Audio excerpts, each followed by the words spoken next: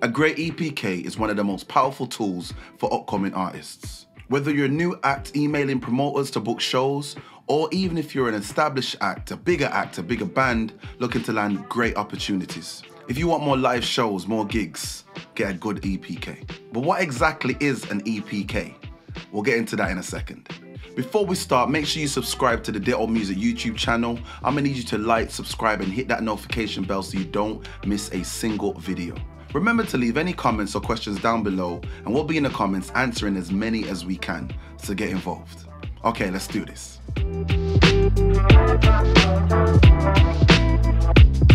So first of all, EPK stands for Electronic Press Kit. And it's basically a document to showcase you and your music.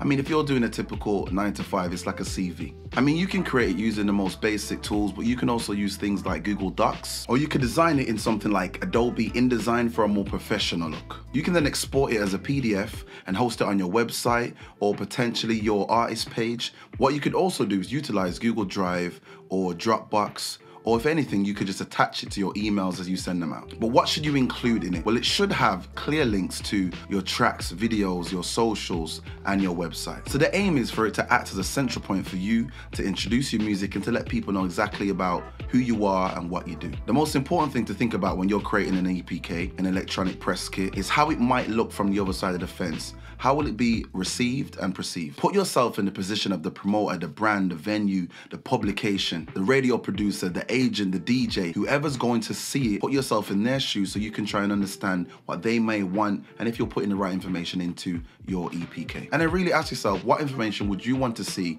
in these scenarios? Okay, so we know what it is, but where do you start exactly? First of all, so important, make sure there are clear links to your music in your EPK. Whether your tracks are on Spotify, SoundCloud, YouTube, wherever it might be, make sure they are clearly listed and accessible within your EPK. Realistically, the more options you have, the better. The more easy the accessibility is, the easier for the person that'll be receiving them. You'll never really know what people's preferred ways of listening to music are, so just allow that accessibility. One great way to share all your music links at once is to use a Ditto Smart Link. Ditto Smart Links are free, and they actually come with all the music that you release. So every time you drop new music, you'll have all your links in one place for you to share one time, and that way anyone who's receiving it, taking it in, they have the choice of their preferred service. When you're ready, get down below in the description and check out the link all about Smart Links to get a little bit more information on how you can utilize them for releases and for any use around your EPKs. Anyway, so promoters and agents before anyone else realistically are gonna wanna know what you sound like. So if you're an original act, you're gonna wanna prioritize your newest single, but in some cases you may have a fan favorite, one that you know that works, most people like this song, then potentially maybe you prioritize that one just to get the attention of the promoter or the agent or whoever you're sending the EPK to. So like I said, you might not know where people are gonna listen from and it's very important to understand and know that not everyone pays for Apple Music service or a Spotify service. So if you can provide a link that allows no issue, no problems, that they don't have to sign up or nothing like that, that might be the best bet again because not everyone will utilize a paid service. And it just all comes back to making it as easy as possible for whoever's receiving it. Another important part of your epk is to provide high resolution photography. Professional pictures of your act your band your group your duo are so important for any EPK. Promoters typically will utilize these photos for any online flyers or gig posters or any promo material. And an agent might use some of these photos to actually sell you as an artist or a brand on their roster page. So make sure it's something that represents you in its full entirety. And actually, maybe more importantly, it'll give off a better sense in general of your vibe and also your aesthetic. So when coming up with a photo shoot idea, make sure it will attach to who you are as a brand, as an artist, and how you want to be perceived. So even though there's like classic themes that will always work, like if you're a rock band and you're looking hella moody and it's like dark and gray, that might work. If you're a rapper and you look very like, you know, that kind of vibe. But overall, you'll find out it's better to come with something more unique, distinctive, and really make it marry and match to who you are as an artist. Obviously, hiring a professional photographer will definitely make this shoot a lot easier for you.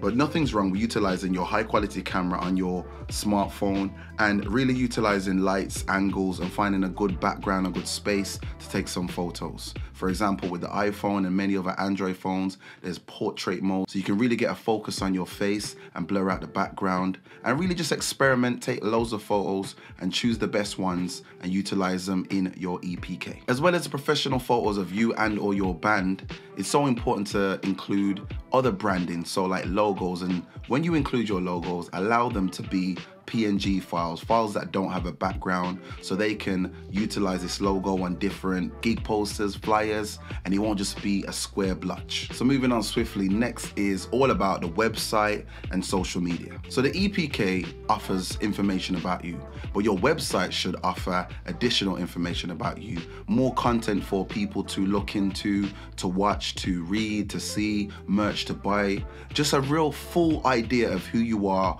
what you've done from start present. You should be able to see more music there, up and coming shows, more videos, and all that good stuff. It gives the artist a lot more credibility, so make sure your website is set, sorted, and in your EPK. Any social media account should be included too, but it's actually more important to include the ones that are updated all the time, so make sure the ones that you do utilize are updated and included. A lot of the time, promoters and agents love to keep track of what you're doing on socials to see if they're ready to book you maybe in a month or two. If you've been active, you're doing things, you're doing shows, so at least they know that when they book you, they're gonna get a good version or if not the best version of you at that time. They wanna see how hardworking you are, how busy you are, but most importantly, how relevant you are. So stay active on your social medias and don't spread yourself thin. Work on the ones that you work on. If you're a Twitter and a Facebook guy, then be there. If you are a Insta and a Snapchat girl, be there. If you are a person that just loves to be on YouTube, be there. But the important thing is be active and include the ones that you utilize within your EPK. While having a lot of Instagram followers or YouTube subs may look impressive, the most important thing to have on social media more than anything is to have an audience that actually engages with you. Because in this shows, there's more people that are more likely to turn up to a show that you're putting on. So I'm begging everyone, please do not buy any fake likes or views or comments. Overall, it'll just end up damaging your account. But more than anything, people are a lot more smart now. They can see that if you've got 10,000 likes and two comments, something's wrong. And it may go amiss, but look at it like this. If a promoter books you and in their minds have done a bit of research and they can see that you've got 100,000 followers, but when they book you for a certain slot, all the people in the crowd start walking away because they have no clue who you are. It's not going to look good on you, and most likely you'll never get booked again by that venue, that promoter, that festival. So definitely build your way up authentically and really keep getting your crowds and your audiences to be behind you. And make sure what you include in your EPK is a polished version but definitely the truth. Realistically, a good following but great engagement can definitely boost your chance of getting booked by a promoter. And this part of the EPK is absolutely vital pun definitely intended, is the biography. Your biography overall should sum up you and your sound. It should list your musical acts achievements and amazing venues, notable venues that you performed at. Talk about bands or artists you've worked with or performed with, also any endorsement deals or brand deals, and also while giving away general information about people within your group who you've worked with and anyone who's a part of your team. And the same way they do in movies when they are promoting a movie, you'll see a blurb or maybe two lines from a notable publication talking about how great this movie is. If you can find publications on yourself that people have said from multiple background spaces and platforms, definitely include that in your EPK. And one thing, and I'm not gonna lie, even I mess up with this, make sure you check your spelling and grammar because you know when you're writing things, you know what you mean. But if you don't go over that a few times, you're gonna miss out certain things that you've included in there that should have been there or small spelling mistakes. Because if you are someone viewing your EPK for the first time and you see an, a spelling mistake, it kind of lets you know this person's a bit sloppy. They couldn't even care enough to make sure this document was perfect. There's a link down below to blogs and artist biographies, a template down below that you guys can check out. So make sure you do that after this video. Now, like I just mentioned, press quotes and testimonials can really turn a good EPK into a great EPK. This kind of content is top tier for your act and more so will really allow them to be perceived on such a great level. If you have any favorite reviews, make sure you include at least one or two, if not the best five within your EPK. Just a few lines showing exactly how much people love, appreciate your music, your sound, your act. And make sure you link it to the source of that quote. And I mean any testimonials from anyone in the industry that is of a higher hierarchy or level than you are currently would look good on your band. I mean, if you're in any kind of act where you've worked with different bands or you've worked with different artists, getting quotes from these artists, these band members, is also something I will add to the level of quality of your EPK. I mean, something as simple as they had an epic show and are definitely ones to watch for next year. Things of that nature will really bring it together if there's different variations of quotes just like that from notable people showing how great you are as a musician or how great your band is. Including quotes like that is something called social proof. And it's a psychological principle that really allows people to think if someone else likes it and is giving it a chance, I'll give it a chance. And I mean, that makes perfect sense. And another area that we mentioned earlier on is about including videos. This is so important, especially if you're trying to book live shows. It'll be a great way for all acts to get